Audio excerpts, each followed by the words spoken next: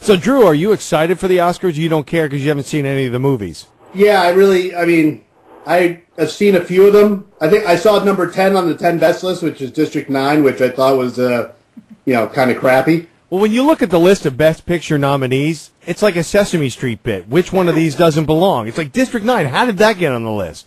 Yeah, I mean, and, and you know, let let's be honest. Every single movie studio, if you said to them, "Would you rather have a super duper critically acclaimed movie that you made no money on, or something that the critics hated but made you know two and a half billion dollars?"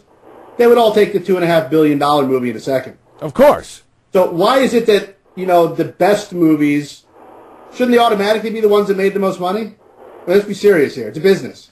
Um, no, the Oscars are the thing that tries to counterbalance the greed. That hey, look, people made some great art, and this was the best art. Didn't make the most money. Yeah, but they, but if they want people to actually watch the Oscars, the people need to care about what they're talking about. Well, you know, the problem is, is that if you do it like that, then every movie is the equivalent of American Idol. It just becomes cotton candy consumption film, and it's not, there's no art. There's because you know what, movies that are really great sometimes don't catch on until much later. Yeah, but you can have a, a great movie that makes a lot of money. I mean, look at uh, you know Dark Knight was a good movie. Now, there are people who tell you that's not a great movie. well, yeah, but that's the same way that people will tell you The English Patient blew also, but doesn't well, mean it did. win Oscars. It did. Now, we were talking about companies having trouble making money like Hulu. Three days before the uh, Oscar broadcast, the spots are sold out and at decent rates.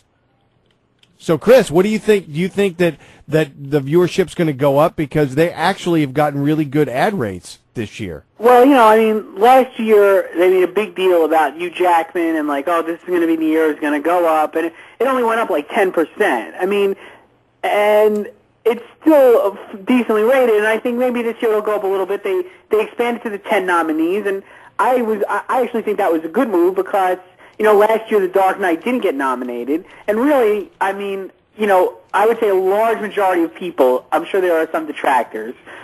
But that was like consensus one of the five best movies of last year. I mean, you know, if you look at Rotten Tomatoes, which is you know an aggregator, it was it had like a 98% fresh rating. Like even the everyone it had huge box office. The critics liked it, and then it didn't get nominated for Best Picture was kind of stupid because you know why? I mean, so you can nominate the reader? It, it was ridiculous. Now this year they expanded it, and I'll, I'll, I'll, I'll politely disagree with you. I thought District 9 was great, and I thought that was a good example of a movie that was, you know, a big, huge box office hit that actually was good, like in the vein of The Dark Knight. And, I mean, they ended up getting this year, like, movies like that, and then, like, a little nothing movie like A Serious Man, which I thought was terrible and made, like, $10 million. And, you know, you have Avatar in there, you have The Hurt Locker. It's a good balance. So I think people might watch this year. You know, last time you know, when Titanic was up for James, with James Cameron, you know, 98, 99, it was a huge, that was a huge rating. They got like, you know, almost, however many, you know, 50 million people or whatever it was. It's a huge number. It's not going to get that this time because I feel like even though Avatar has made all this money, I still don't feel like it's as beloved as Titanic was because no. It just seems like more people are seeing Avatar because they have to see it instead of I love this movie and then I see it 50 times like people did with Titanic. So I think the ratings go up a little bit. I don't think it's still a niche broadcast, though. I mean, you're not going to get huge numbers. It's not like the Super Bowl. Right. Well, the the interesting thing is um, Hyundai has seven commercials airing during the the uh, the Oscars for Genesis and Sonata cars. Okay. And guess who can't do the voiceover on those commercials? Oh. Jeff Jeff Bridges. Oh, of course. He's the voiceover because the Academy prohibits anyone nominated for an Oscar for participating in commercials that run during the show. Well, that's funny. Maybe he'll uh, maybe he'll he'll get a plug in when he wins. You could be. Perhaps. Kim Basinger, Richard Dreyfuss, David Duchovny, Catherine Keener, Mandy Patinkin, and Martin Sheen. And I kept going, well, why did they pick these people? like, who are these people that are going to take Jeff Bridges' place?